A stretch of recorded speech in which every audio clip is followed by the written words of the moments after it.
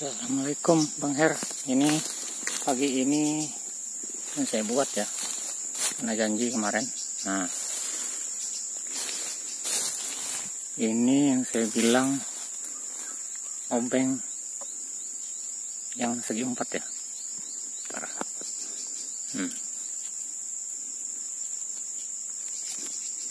Jadi Karena diameter pohonnya ini cuman 50 lingkar pohon ya saya nggak berani takuk jadi saya buat spiral aja. Takuk satu terus saya bikin lubang spiral seperti ini. Dia akan memutar dengan jarak 20 cm nah 30 cm atasnya.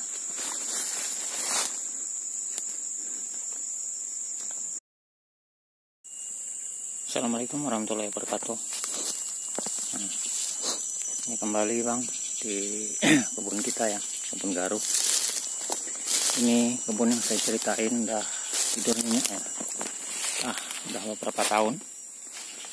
Tapi dengan ketemu dengan abang ini saya coba bangunkan. Coba saya lihat tuh semuanya setengah mati. Hmm. baru semua nih bang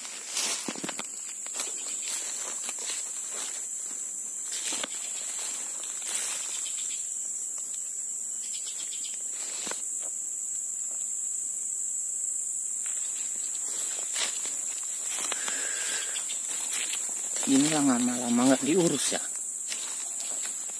Kebun ini udah lama emang nggak dirawat. Sampai lihat tengahnya ini keseru semua bang. Nah. dari pohonnya teman lihat.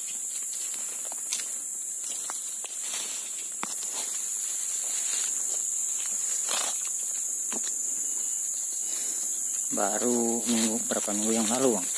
Ini ya kita coba bersihkan. Ini pun belum ini belum bisa juga kita clearkan semua ya.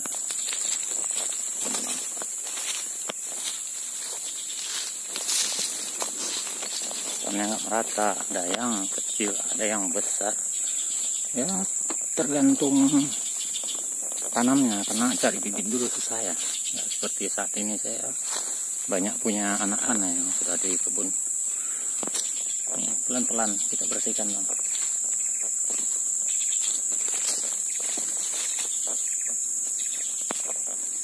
kebun ini tidur nyenyak ya. Masalahnya karena walaupun kita rawat kalau prospek ke depannya kita nggak tahu inokulan apa yang kita pakai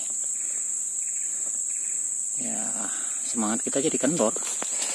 Tapi ketemu dengan Bang Haryanto ya di channel agar bu ini coba saya bangunkan bang bangunkan kembali. Ini salah satu kebun ya? Salah, salah satu aja. Kebun kecil ya. Nah, bang.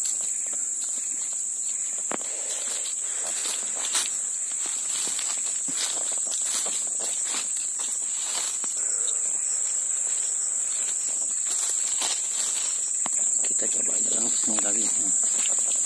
Ini 8 tahunan bang. Ini. Pohonnya hmm.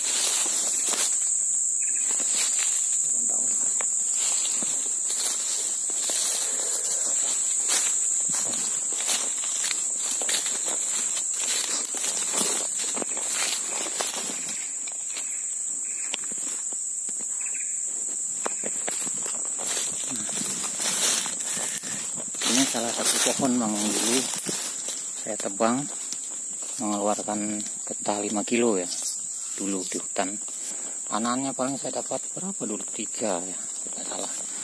Nah, ini kejadiannya.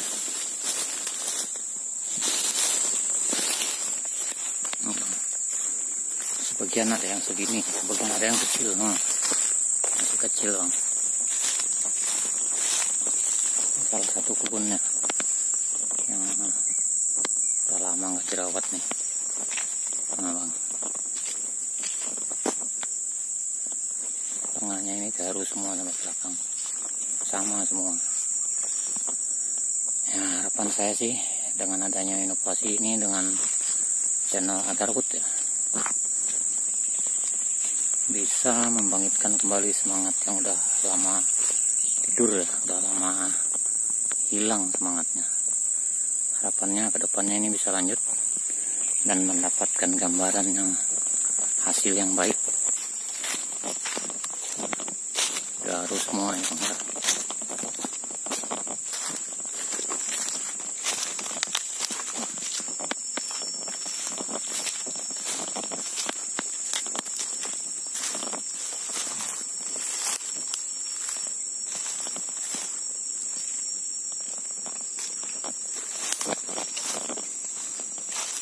ya kiranya cukup sekian untuk semangat dan motivasi ya teman-teman yang lain.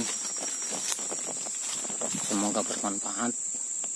Semoga usaha yang kita jalankan ya sesuai seperti yang kita harapkan. Jadi saya akhiri. Assalamualaikum